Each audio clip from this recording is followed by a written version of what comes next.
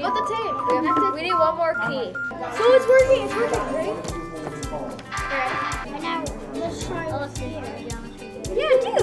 Let's do. This is so cool. Explore, play around a little bit, see how you can control either the bongos or the piano. I connect. I didn't put it on. I put it on my and you have to attach it to your little circuit board that looks like a controller, right? Yeah. Looks like a little game controller. We're all public school teachers, but we wanted to offer something to the kids and families beyond the school hours and beyond the confines of um, school curriculum, school education. And it's been a great program to help kids in science and help families you know, with, with the kids in science too. All of these people have come together in support of uh, improving student learning.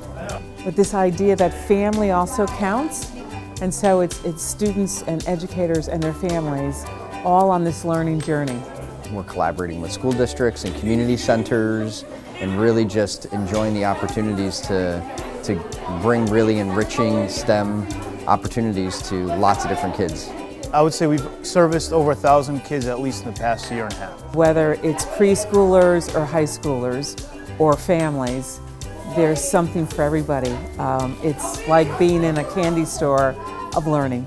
They get to learn from experience. They, they have a lot of um, thoughts, but a lot of times they can't do things hands-on in a classroom environment.